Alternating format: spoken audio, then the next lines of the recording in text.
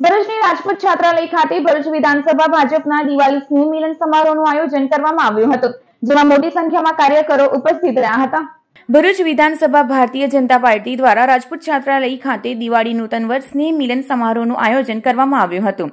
સ્નેહ મિલન સમારોહમાં ભરૂચના ધારાસભ્ય રમેશ મિસ્ત્રી, વાગરાના ધારાસભ્ય અરુણસિંહ રણા, ભરૂચ જિલ્લા ભાજપના પ્રમુખ મારુતિસિંહ અટોદરિયા, પૂર્વ ધારાસભ્ય દુષ્યંત પટેલ, જિલ્લા પંચાયતના કારોબારી સમિતિના અધ્યક્ષ ધર્મેશ મિસ્ત્રી, નગરપાલિકા પ્રમુખ વિભૂતિબેન યાદવ તેમજ ભાજપના આગેવાનો અને કાર્યકરો મોટી સંખ્યામાં ઉપસ્થિત રહ્યા હતા.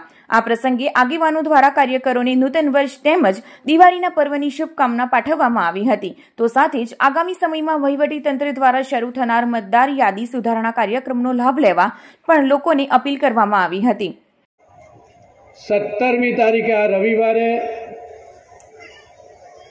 ત્રેવીસ તારીખે એટલે આ શનિવાર પછીના શનિવારે અને ચોવીસમી તારીખે એટલે આ પછીના રવિવારે સત્તર, ત્રેવીસ અને ચોવીસ સવારે દસથી સાંજે પાંચ વાગ્યા સુધી જ્યાં આપણે મતદાન કરવા જઈએ છીએ, મતદાન મથક ઉપર જઈને આપણે નવું નામ નોંધાવવું હોય, જેની એક એક બે હજાર પચીસ સુધીમાં અઢાર વર્ષની ઉંમર થતી હોય, એવા તમામ નવા યુવા મહિલા મતદારો એ નવા મત, મતદાર તરીકે ઉમેરવા માટે જ્યાં રહીએ છીએ ત્યાંથી કોઈ અન્ય સ્થાન ઉપર રહેવા ગયા હોય, તો એક સ્થાન ઉપરથી બીજા મતદાન મથક ઉપર નામ નોંધાવવું હોય, કોઈ કારણસર કોઈ નામ કમી કરાવવાનું હોય.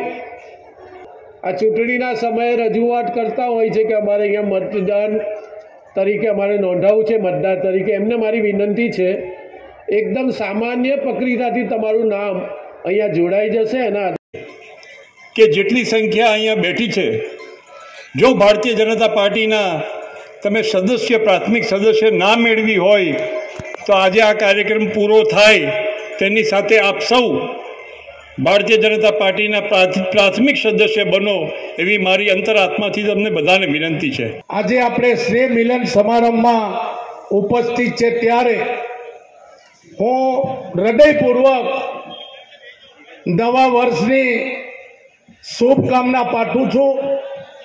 પ્રભુ, તમારું જીવન સુખમય રહે, સમૃદ્ધિમય રહે, વિકાસ થાય અને આરોગ્ય ક્ષેત્રે પણ તમે તંદુરસ્તી રહો.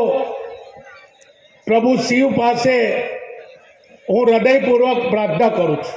સભ્ય બનાવવા જઈશું, તો બધા વાત કરશે કે ભાઈ, અહીંયા આમ ખાડા પડ્યા છે, અહીંયા આમ થયું છે.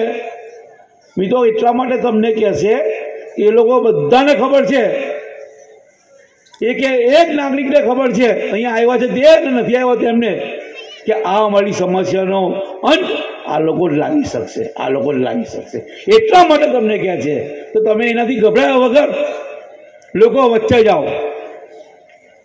નાની મોટી જેની જે સમસ્યા હોય એની નોટ કરી લો. અને તમે તમારા વિસ્તારના તાલુકા પંચાયત, જિલ્લા પંચાયત, નગરપાલિકા ચૂંટાયેલા સભ્યોને આપો. તેનાથી તમારી સમસ્યાનું સમાધાન ના થાય તો ધારાસભ્યશ્રીને આપો, સાંસદને આપો, જિલ્લા સંગઠનને આપો. મિત્રો, મને નથી લાગતું કે એકની પણ નાની મોટી સમસ્યા હશે તેનું નિરાકરણ આપણે નહીં કરી શકીએ.